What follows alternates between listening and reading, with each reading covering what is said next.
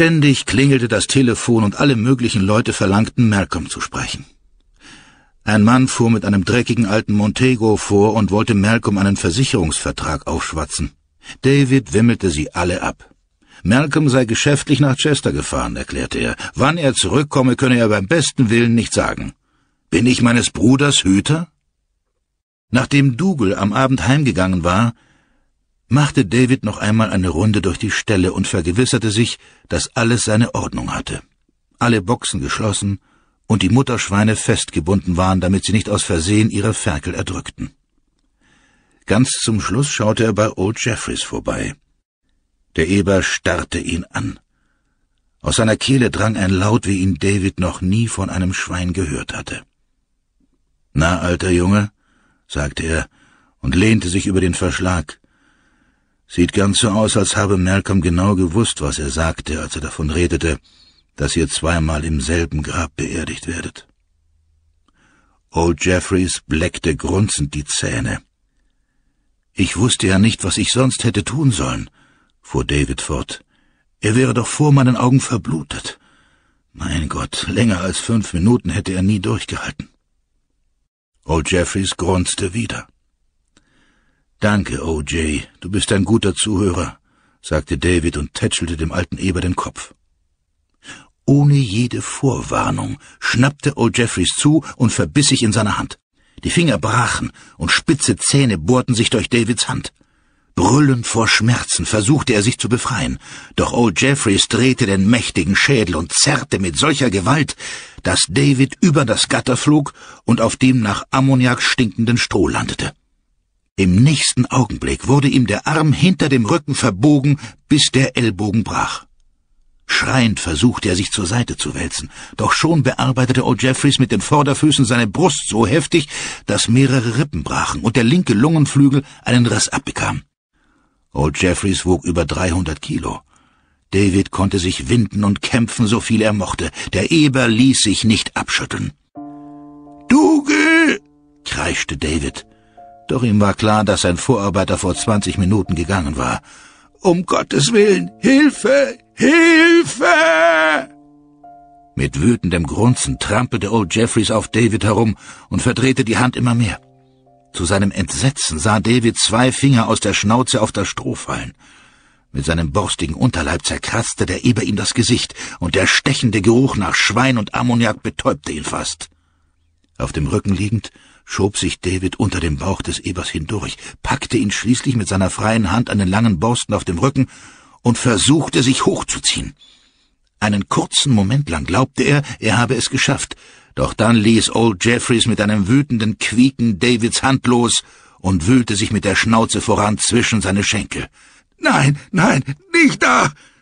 Doch schon zerfetzten Old Jeffries scharfe Zähne die Hose und rissen ihm ein großes Fleischstück vom Schenkelknochen. Haut und Fett platzten und rissen geräuschvoll. Und dann hatte der Eber sich weiter oben verbissen.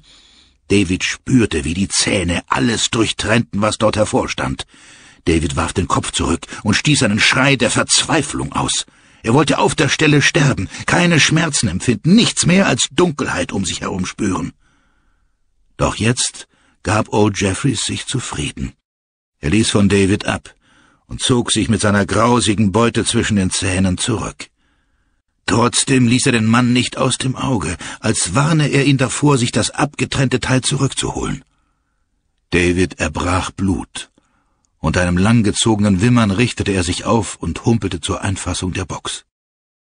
Vor Schmerzen schrie er auf, als er sich hinübergleiten ließ. Er spürte, dass er literweise Blut verlor. Warm und bedrohlich spritzte es durch das Loch in seiner Hose. Er wusste, dass er sterben würde.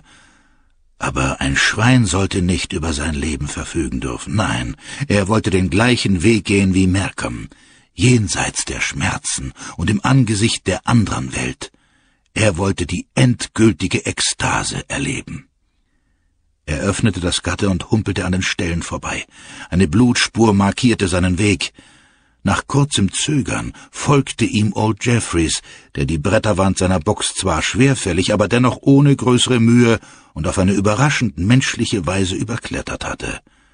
Seine Klauen klapperten auf dem Betonboden. David schleppte sich eine Blutspur hinter sich herziehend über den Hof zur Scheune, in der sie das Futter aufbewahrten und wo die Futtermühle stand. Der Wind schlug irgendwo eine Tür auf und zu, wieder und wieder, so dass es ihm wie das langsame rollende Trommeln bei einer Beerdigung vorkam.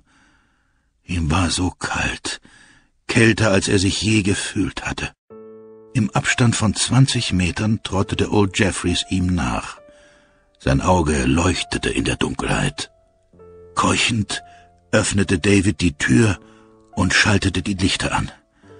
Dann musste er sich erschöpft gegen die Wand lehnen.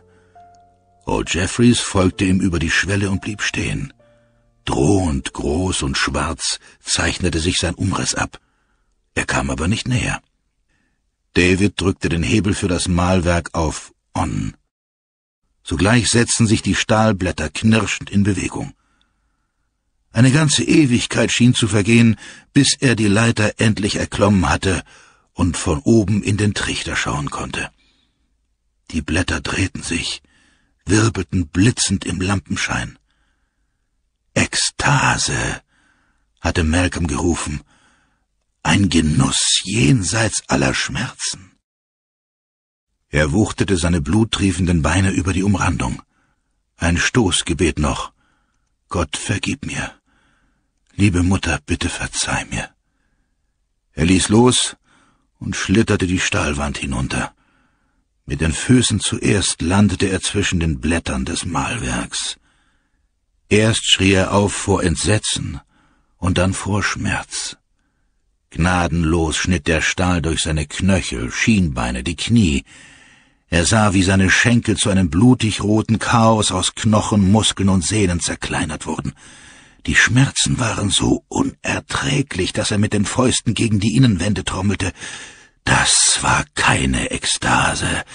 Das waren unerträgliche, nervenzerfetzende Schmerzen. Und dazu kam noch das Wissen, dass er bereits rettungslos verstümmelt und so gut wie tot war. Die Blätter schnitten in seine Hüfte. Er hatte schon geglaubt, er sei ohnmächtig, aber das stimmte nicht. Man konnte das Bewusstsein nicht verlieren, wenn die Schmerzen so grässlich waren, dass nichts verschont blieb, auch nicht sein Bewusstsein, nicht einmal seine Seele. Er spürte, wie sein Unterleib zerteilt, zerstoßen und zu Brei zermalmt wurde. Er spürte, wie ein Sog seine Eingeweide ergriff und sie ihm aus dem Bauch riss. Und dann geriet der Rest zwischen die Blätter und wurde wie bei Malcolm durch einen Strudel gewirbelt. Den Bruchteil einer Sekunde lang spürte er auch das noch, diesen wilden Derwischtanz, einen Tanz der Agonie.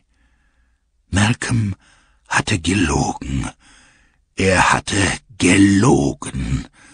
Jenseits der Schmerzen gab es nichts als nur noch mehr Schmerzen. Und auf der anderen Seite wartete etwas Blendendes, das ihm die Sicht raubte und die Schmerzen vergleichsweise noch als Liebkosung erscheinen ließ. Die Blätter zerschnitten ihm die Kiefer, zermalmten sein Gesicht. Blut und Hirnmasse wurden im Kreis herumgewirbelt, und dann war nichts mehr von ihm übrig. Mehr als eine Stunde lang drehte sich das Mahlwerk noch in rasendem Tempo. Schließlich hatte es sich überhitzt, da es nichts mehr zu zermahlen gab, und die Blätter kamen kreischend zum Stehen. Noch tröpfelte Blut, aber immer langsamer. Der einäugige Old Jeffreys blieb im geöffneten Tor stehen, wo ihm der kalte Nachtwind durch die Borsten strich. Was Strafe war, wusste er nicht. Auch so etwas wie Schuld war ihm unbekannt. Aber auch wenn er es nicht verstand, so war vorher doch etwas aus seinem vollen Magen empor und durch die Windungen seines primitiven Gehirns gedrungen. Ein unbändiges Verlangen nach Rache.